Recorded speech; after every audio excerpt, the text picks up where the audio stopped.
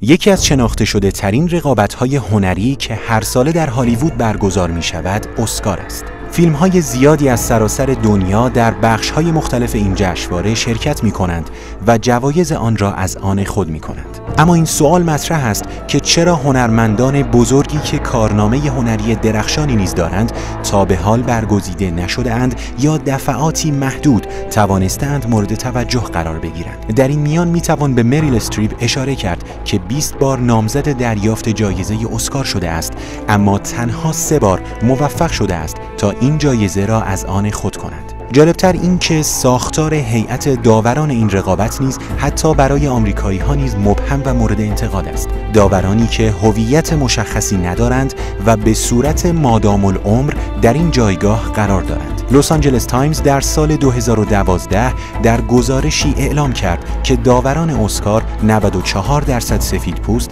77 درصد مرد و میانگین سنی آنها 62 سال است. میتل بایریشه در گزارشی با عنوان انتخاب محرمانه یک دستور به نقل از امیلی بندیکت سخنگوی آکادمی اسکار می‌گوید برگه های رأی داوران اسکار با خالی گذاشتن گزینه ها باطل نمی شود. علاوه بر این هر داوری بر اساس سلیقه شخصی خودش رأی می دهد و هیچ استاندارد واحدی برای انتخاب نهایی وجود ندارد.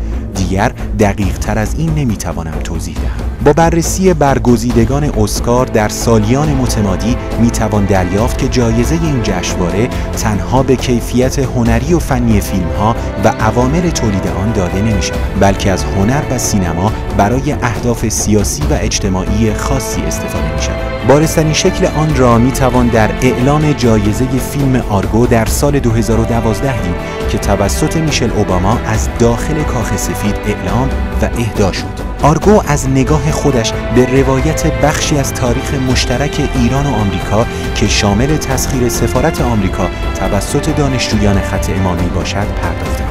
در سال 1978 جایزه ای به فیلم شکارچی گوزنها داده می شود که در آن آمریکا که سه میلیون نفر را در جنگ ویتنام کشته است ناجی و قهرمان ویتنام معرفی می شود و ارتش و مردم مدافع این کشور ادعی احمق و وحشی ترسی می شود. وضوح این پیام تا جایی است که منتقدان درباره آن نوشتند که این فیلم می تواند گناهان یک ملت را تطهیر کند. یا در فیلم دیگری با نام شکست ناپذیر ساخته کلینتیستود که برنده اسکار شد نظام آپارتاید آفریقای جنوبی مورد تایید واقع می شود و به عنوان ضرورتی برای اداره کشورهای آفریقایی مطرح می شود. آکادمی اسکار در سال 2014 با اهدای جایزه به فیلم باشگاه خریداران دالاس که به موضوع ادعای اشغال جزیره کریمه توسط روسیه می‌پردازد دین خود را به سیاستهای ضد روسی دولت آمریکا ادا می کند. داوران مادام عمر آکادمی اسکار سال 2009 با اهدای دو جایزه به فیلم میلک که به تمایلات همجنسگرایانه یک مرد می‌پردازد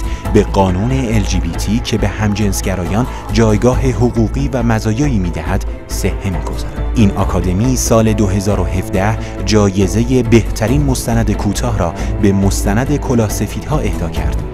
کلاسفیدها گروه به اصطلاح مستقلی هستند که در جنگ سوریه به اقدامات امداد و نجات می‌پردازند.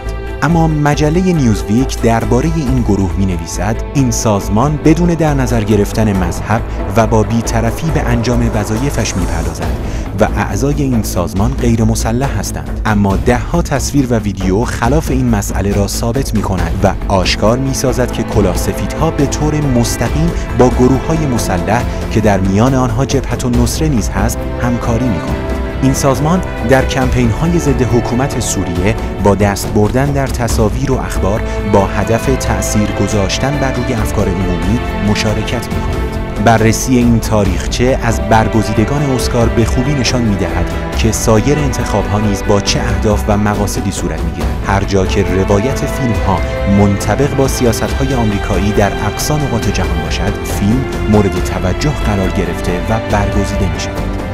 همانطور که می‌دانید بسیاری از هنرمندان بزرگ و صاحب سبک تاریخ سینما مانند آلفرد هیچکاک و دیوید فینچر و غیره به خاطر فیلمهایشان در این مراسم برگزیده نشدهاند.